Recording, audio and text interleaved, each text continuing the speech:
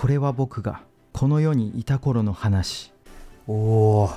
こんなバルコニー憧れるな。これは真似したいな。そうだまずはバルコニーのサイズを測りに行くか。この時僕はこの後起こる悲劇を知る由もなかった。足の裏が真っ黒になってる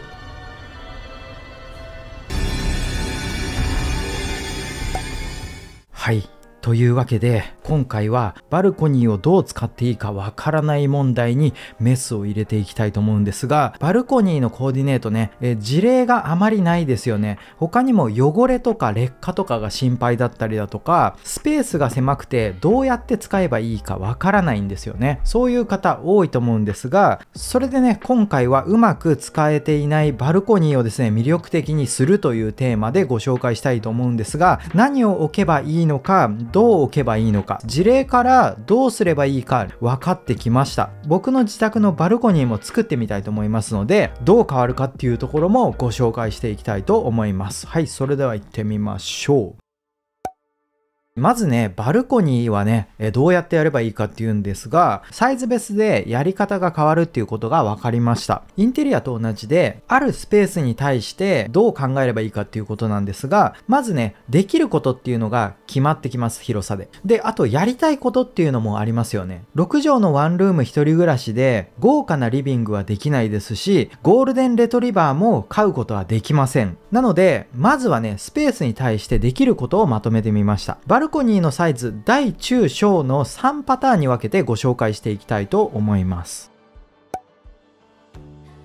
まずは小サイズなんですが、一人暮らしとかバルコニーが小型な方の場合ですね、サイズ的には幅がまあ4メートル以下ぐらい。で、奥行きはまあ90センチ以内ぐらいのサイズ感の場合ですね。できることとすれば、折りたたみのテーブルと椅子でね、簡易的なカフェスペースを作るっていうぐらいはできると思います。で、事例で見るとこんな感じです。例えば1つ目なんですが、1人用の隠れ家的なスペースを作ることはできますね。これだと、まあ、70センチから90センチぐらいの間でできると思います。他にもこんな感じで軽い食事ができるスペースを作ることもできます。2人用のテーブルっていうのは難しいんですけど、壁付けでね、え小さめのテーブルだったら置くことができるかなと。ちなみにこれはおすすめなんですが、IKEA のね、アスクホルメンっていう商品で、小スペースで価格が安く、折りたたみ可能なものなので、一人暮らしの小さいバルコニーでも使いやすいかなと思います。います使うとこんな感じに見えるんですよね。これを使った事例かなり多かったです。使い勝手がいいんだと思いますね。で、シンプルにカフェテーブルとか椅子を置く感じ以外にもデコレーションをね、ちょっと凝った場合はこれぐらいの感じですね。簡易的なカフェスペースがあるような感じで、いろいろやろうと思えばね、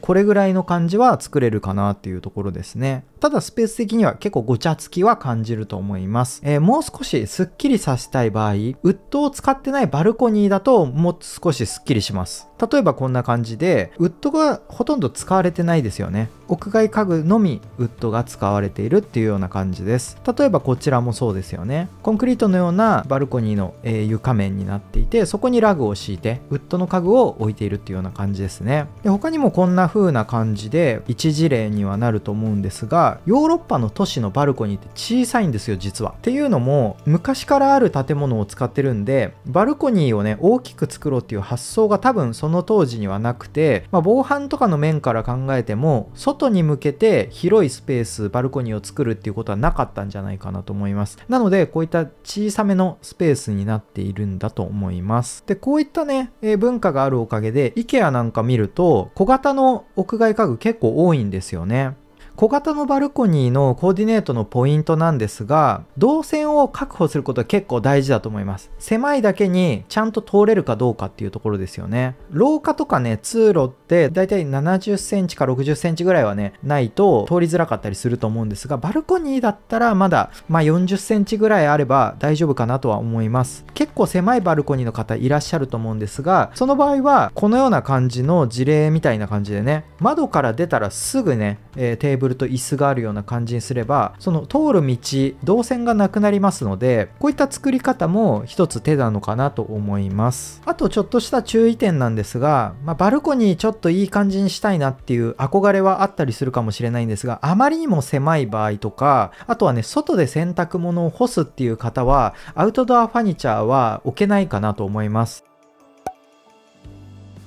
続いては中型のバルコニーのサイズなんですがよくあるマンションのサイズっていうとイメージが近いかなと思います。サイズ的には、まあ、大体幅は4メートルから8メートルぐらいのね大きくてもそれぐらいかなと思います。奥行き的には90センチ以上で150センチ以内ぐらいのパターン。これかなり多いとは思うんですが、まあ、ここでできることとすれば食事をすることができたり作業もできますしカフェスペースみたいな場所も作ることができると思います。で置けるものとしてはダイニングも置けますしラウンジチェアも置けますし植物なんかもね組み合わせることができます。事例で見るとこんな感じですよね。ここでねちょっとしたコーヒーを飲んだりゆっくりくつろいだりすることもできると思います。他にもこんな事例もありました。これだとねダイニングで、え4名からね6名ぐらい座れるようなスペースを作っています。さすがに照明はつけれないとは思うんですが食卓のような感じで使うこともできると思います。他にはこんな感じで先ほどの小さめのテテーブルと椅子を使った場合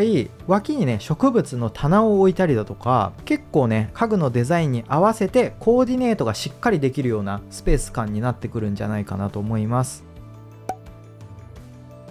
続いてはね大サイズのバルコニーの場合なんですが幅はね5メートル以上でえー、奥行きは150センチ以上ですね。まあ、かなり大きめにはなってきます。ここでできることとしては、ダイニングスペースもちろんできますし、ラウンジスペースももちろん作れますし、その両方も作れるんじゃないかなっていうスペースになってきます。置けるものとしては、ダイニングテーブル、ソファー、ラウンジチェア、ハンモックなどね、え結構いろんな屋外家具使えるようになってきます、これなら。で、事例も見ていただくとこんな感じで、奥にソファーがあって、手前にラウンジスペースがあっ、て複数の家具を組み合わせることができるようになってくると思います。ここまでいけば普通のね、リビングのような使い方ができてくると思います。他にもね、屋外リビングのようなこんな感じもできますし、パラソルみたいなものは、まあ、使える場所と使えない場所あるとは思うんですが、このソファーと大きめなテーブルを置いたりとかね、そういうこともできるようになってくるわけですね。で、他にもね、L 字型のソファーを置いたりね、そういったまあ本当にくつろぎのセカンドリビングのような形でコーディネートすることもできます。基本は何でも置くことができるスペースっていう風に感じたと思うんですがその一方で欠点もあるんですよね大きいと。まずねなりやすいパターンとしてはスカスカ感が出やすいです。広さに対して家具の割合は適度な家具のバランスが必要なんですよね。いろいろ調べてった中で広さに対して家具の割合って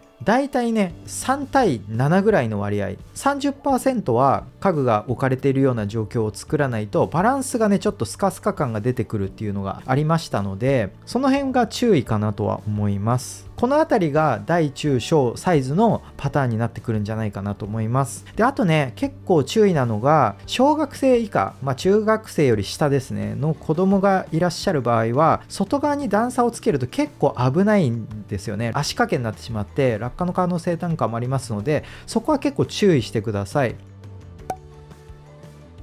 続いてはですね僕の自宅のバルコニーを作ってみたいと思います。今回の目的としてはやりたいことですね。ランチをしたりとかね、カフェタイムにくつろいだりすることがまずできるようになりたい。で、あとはですね、気分転換にノートパソコンぐらいだったら外でやれるような感じのスペースを作りたいなと思います。ちなみに僕の自宅のバルコニーのサイズとしては、奥行きが170ぐらいかな、あります。で、幅は6メートルぐらいあるので、結構大きい方だと思います。こんな感じになってます。今はですね、植物を育てていたりとか、余ったスペースに物を置いているだけのなんとなく、えー、使っているスペースになっていてなので魅力的にするプランを考えてみました。図面的にはこんな感じなんですけどちょっと分かりにくいのでシミュレーションしていきたいと思います。まずは何もない状態に CG で作ってみました。こんな感じになります。今はマンションの床のままになっていて裸足で出るとね足の裏がちょっと汚れてしまうような感じでタイルと人工芝を敷くとこんな感じになります。以前も動画でご紹介したことがあるんですが床面を濃色にすると安定感が出てきますのでここではその効果もちょっと狙っています。仕事をしたりね軽い食事ができるサイズの屋外用テーブルを置くとこんな感じになります。あとねチェアも同じデザインのものを配置していきます。そうするとこんな感じでテーブルはライトグレーでチェアはブラックになってますよね。この色の組み合わせは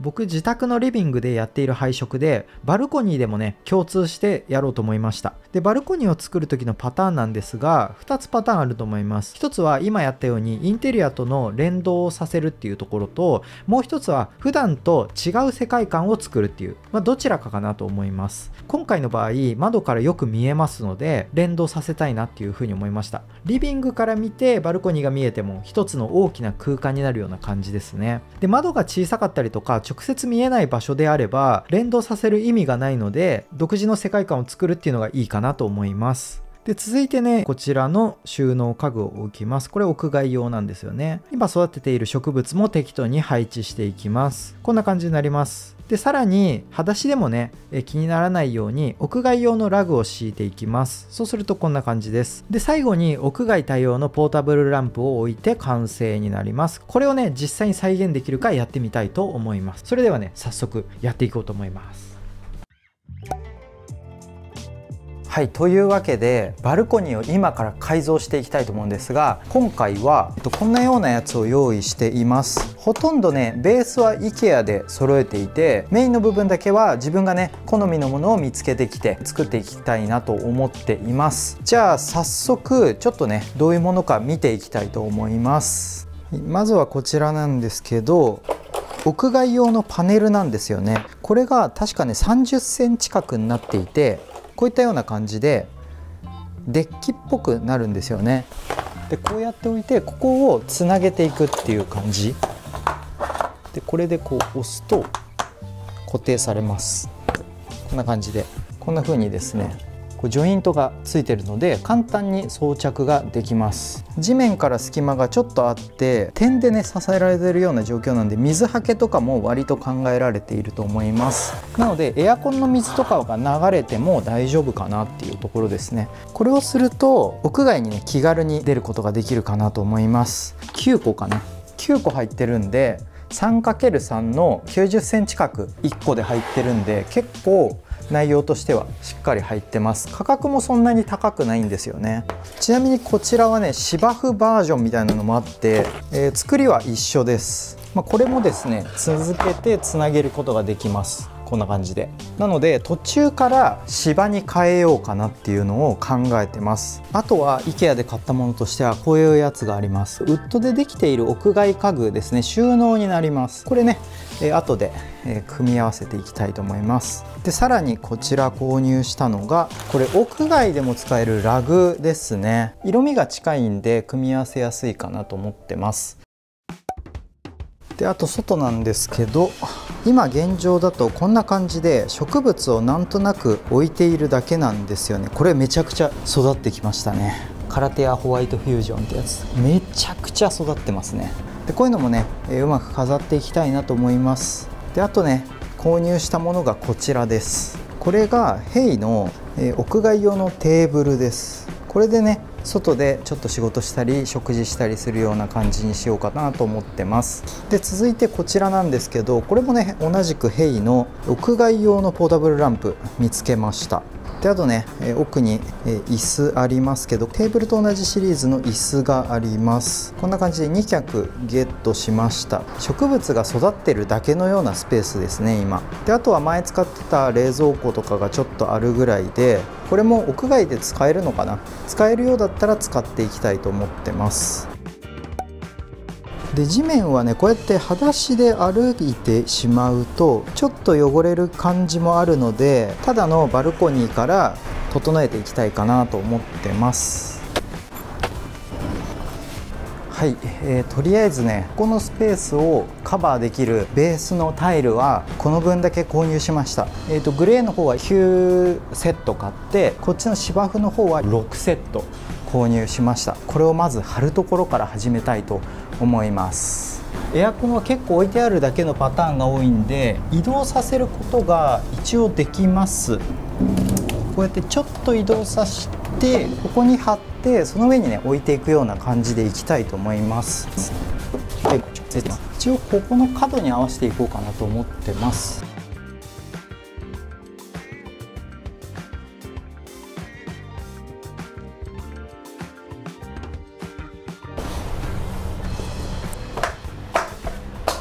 この芝生の方はこのベースみたいな感じなのに対してさらに芝がくっついてるんですよね。こういうものでコツコツやっていってそれでパチパチパチって止めてもらわないといけない。なので圧力がちょっと必要です。こっち側はむしろ楽だったんですよね。これもう硬い芝生がないんで硬いと思うんですが、えー、重ねるだけ。そして踏むだけで多分大丈夫です。ほらパチって。一応この感じで、え、横長にずらっと進めようかなと思います。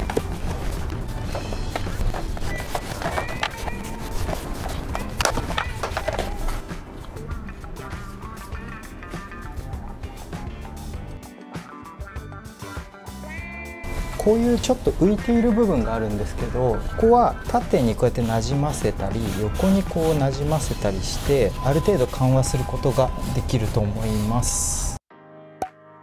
こんな感じでなんとなく腫れてきたんですけどここですよね。ここがすごくダサいと思います。幅が1個分ないんですよね。これを置こうとしてもうん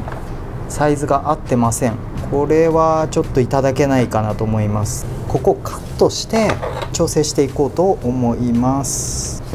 これ樹脂製なのでこの部分をですねこういった硬いものをカットする時に使う工具ありますよね。こういうのでこうカットしていきます。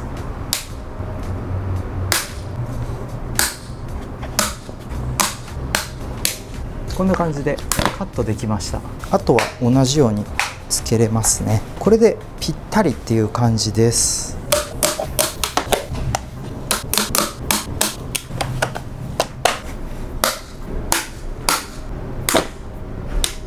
こんな感じでギリギリまでぴったりいけましたね。芝生の部分も微妙にスペースありますよね。これも同じく結構簡易的で同じ仕様になってるんですよね、まあ、このまま同じようにカットできればなと思います。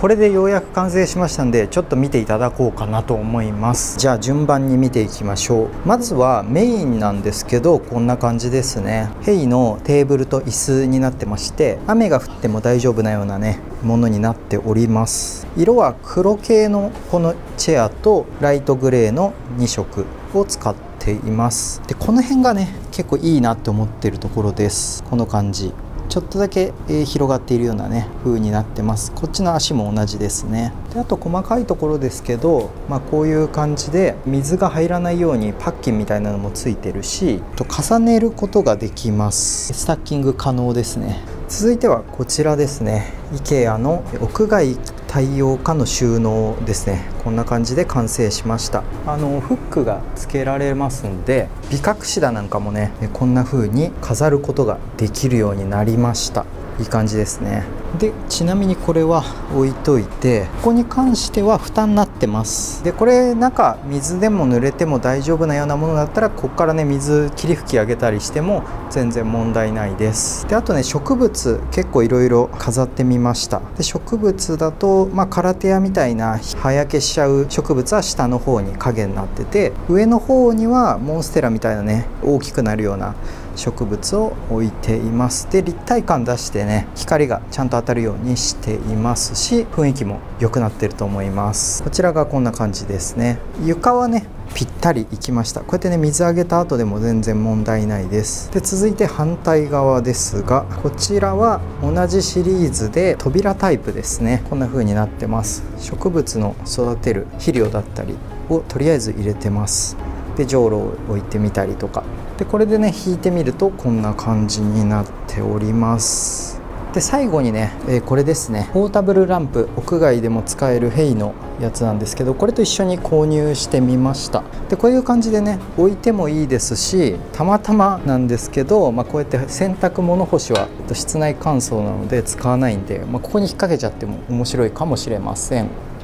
ちょっとランタン風にしてみてもいいかもしれない。でここで食事をしたりだとか仕事をしたりすることもできるかなと思います。これでほぼ完成なんですけど最後に裸足でもね気軽に出られるように屋外に対応しているラグを敷きたいと思います。それでね完成ということにしたいと思います。それがこれで IKEA のやつなんですけどこれ見てください。天然素材みたいに見えるんですが実はねこれポリプロピレン製なので水はけも良くて、えー、敷きっぱなしでも大丈夫とのことです。価格もね結構安いですしサイズは結構大きくて133センチ ×195 センチなのでテーブルの下に引いていきたいと思います。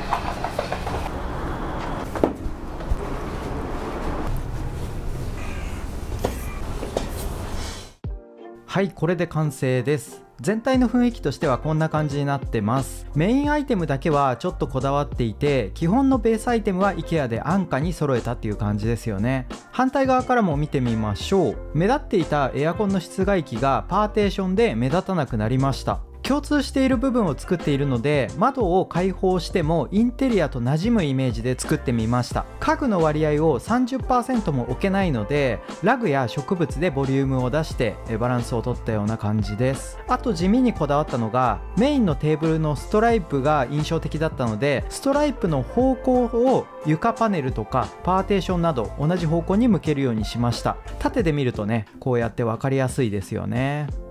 はいというわけでいつもの視聴者さんのアドバイス企画のようにね作ってみたのと実際にやってみてねほぼ完璧に同じようなイメージが作れました。で最後になんですけどちょっと注意で屋外家具を置きっぱなしにした時のメリットとデメリットもちょっと考えてみました。屋外に置きっぱなしでいいアイテムっていうのはスチールを防水塗装にしたようなものだったら大丈夫だと思います。他にもプラスチックとか樹脂系の製品であれば割と大丈夫かなと思います。汚れもね落としやすいですし錆びることともないので大丈夫かなと思います。他にもね素材としてはアルミとかガルバリウム合金っていうね屋外で使っても錆びない金属なんかもありますのでその辺りの素材であれば置いといてもね別に問題ないかなと思います。逆に置きっぱなしで注意の場合っていうのもあると思うんですね。それを考えてみると強く日が当たる場所南向きとか西向きで光が常に当たるような場所だと、えー、結構ね劣化してしまう可能性もありますのでそういう場合はちょっと注意かなと思います。プラスチックとかでもね劣化するかなというのはあります。であとはですね屋根のないバルコニーの場合は雨ざらしになってしまうので劣化が特に早くなってくると思います。特にウッド製の屋外家具とかラグとか屋外用のソファーのファブリックなんかがですねかなり劣化早まると思いますのでそこは注意だと思います。ファブリックは特に濃色だと劣化早いと思いますので色あせたりとかねすると思いますのでそこも注意かなっていう感じです。あとはね電気関連のアイテムは漏電とか感電のリスクがありりますので置きっぱなしには結構ね注意してあげてください。屋根がね常にあって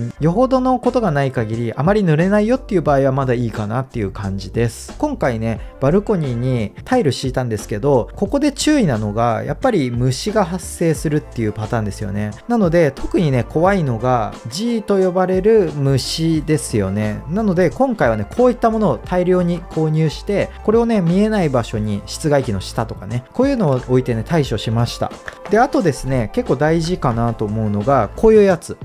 はい。えー、エアコンの水がね出るホースみたいなのありますよね。排水ホースみたいな。あそこが侵入経路になって虫が入ってくるっていう可能性もあるんですよね。なのでこういうようなものにはなってるんですけどホースのサイズに合わせてねこういうのを選ぶんですけどこういうぶっ刺してここからもう入れないようになってます。虫がね入るスペースがないようになってます。こんな感じでえっ、ー、とねいろんなパターンありますので自宅のホースのサイズに合ったものを選んでいただくといいかなと思います。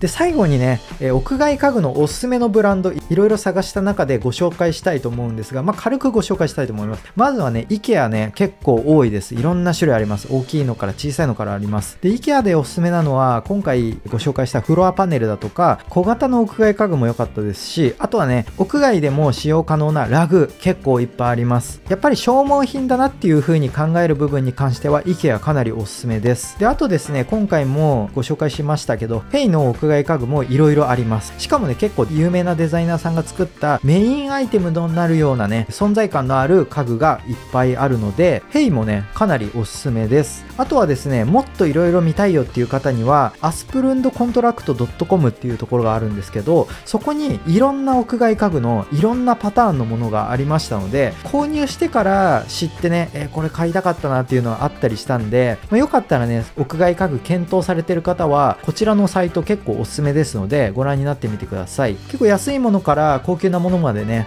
いろんなものありますのでぜひ参考にしてみてください。はいというわけでインテリアやライフスタイルについてまたこちらからお送りしたいと思います。はいそれではまた。